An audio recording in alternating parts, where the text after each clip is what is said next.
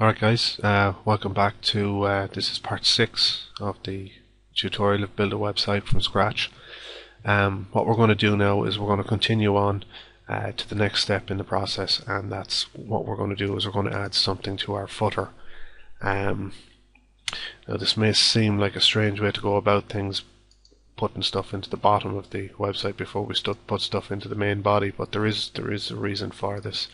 Uh, this is our copyright section here and um, everything we've done up to this point uh, is going to be the same on every page that we have.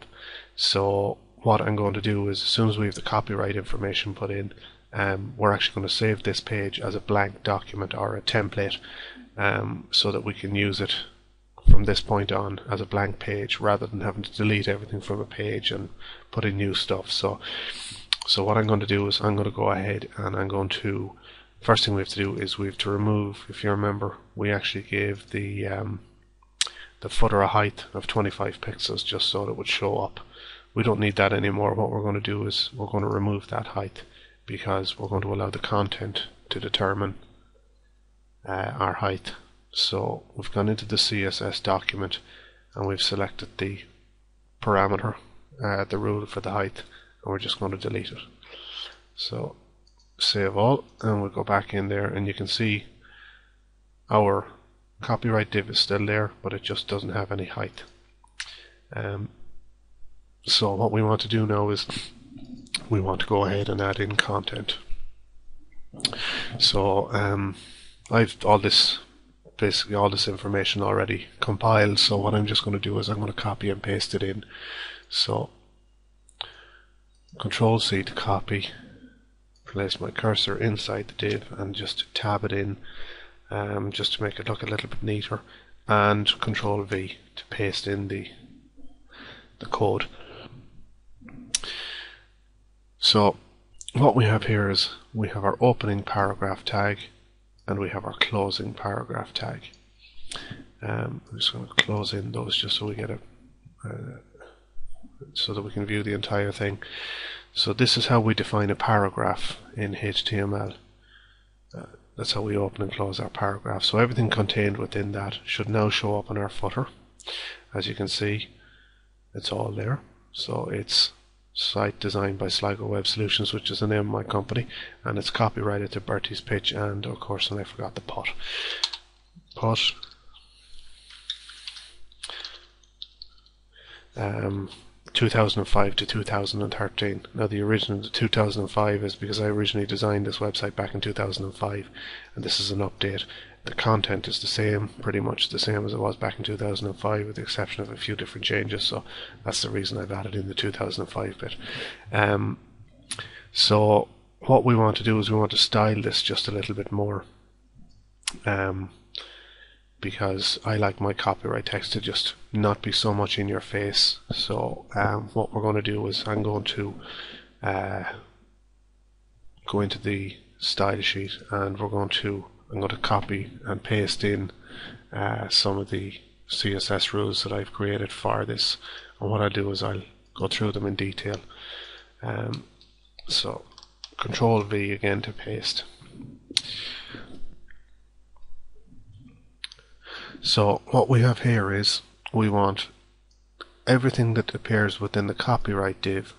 So that's the copyright div uh, paragraph. So everything contained within the paragraph tags and the copyright div is to have a padding top of zero because I want the text to appear right up against the bottom of the wrapper. Uh, so it's going to have zero pixels. The font size is going to be 11 pixels. The standard size that we're using for this is 16 pixels, so it's going to be smaller again. Uh, our font family is going to be Arial, Helvetica, or any sans serif um, text, and our text color is going to be that green uh, that we've been using throughout the site. Now, what we have here is we have the copy, the paragraph contained within the copyright div, but the link uh, which is this section here. So anything that's contained in the A, the A tags, which is a link, I want them to appear a particular way. So I want the color to be the same, the green color, but I want the text decoration to be removed. By default, all of the A links would be blue in color and they would be underlined. So any link that would appear on your page by default would show up in blue text with an underline. I've removed that, so that's what that parameter there means. Text decoration none means that it removes the underline from underneath the text. So the next one then is we've created a hover state for our links. Um, and what that does is you've created the A colon hover. Now there's a few states for these. There's there's the hover effect. There's the visited effect that shows up.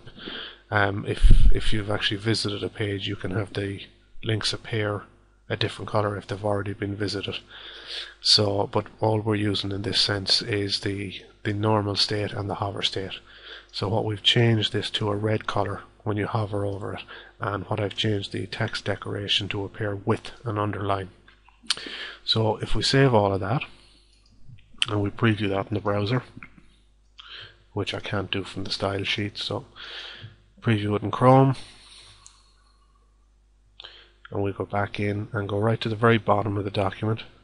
And you can see there's our site te our, our text our copyright text at the bottom of the document there. So and our link is contained within this. If you hover over it you'll see it does actually show up as red so um, it's just something that I put in in all of my documents. Um, copyright is very important um, it just means that any images or anything that are on it uh, it makes it apparent to people that they are actually the property of the person who owns the website. It's it's vital this day and age that you put some put uh, details like that on it. Now I'm going to go back and show you, basically talk you through what we've done here. So this is normal text that's appearing within the, the paragraph tag. And then we have the A link. Uh, so we have our opening A link tag here, which is a href, which means that it's pointing to a particular file or our page. So that's the shortcut to my website. Um, and the title is basically if you hover over the link, um, what happens is a little, like a little tag appears.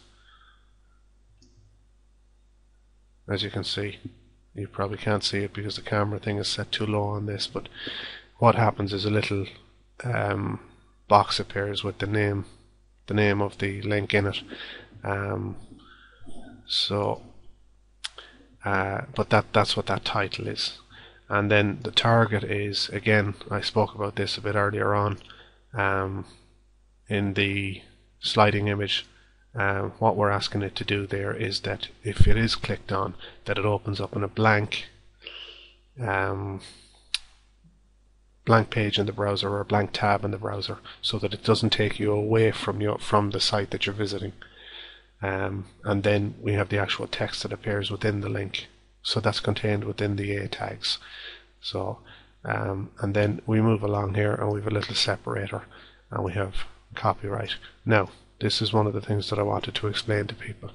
For that little graphic to appear which is the little C um, you need you can't just put that that that isn't actually part of the text. So what you have to do is you have to put in a code for it. Um, and for that case it's and copy.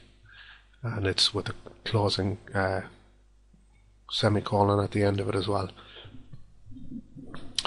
Um, and that's the HTML tag for our code for the copyright symbol. Um, and also there's one for the and. Uh, it just it makes it appear better in the browsers um, because and is part can be part of, of coding the actual and symbol. As you can see it's used at the start of the and copy the copyright symbol so it can be misconstrued so you're better off if you're using the and symbol to actually use the proper HTML terminology for it um, and again as I said the rest of it is pretty self-explanatory and then we have our closing paragraph tag so that's uh, the way we have that set up for your copyright, div. So I think we'll call it this tutorial for now. And um, in the next one, then we're going to start adding in our paragraph, our headings, our paragraph, and maybe we'll add in an image as well. Um, so uh, please don't forget to subscribe and uh, drop us a wee like. Um, and also if you want to leave any comments uh, please do so in the comment section below. And I'll talk to you in the next tutorial. Thanks. Bye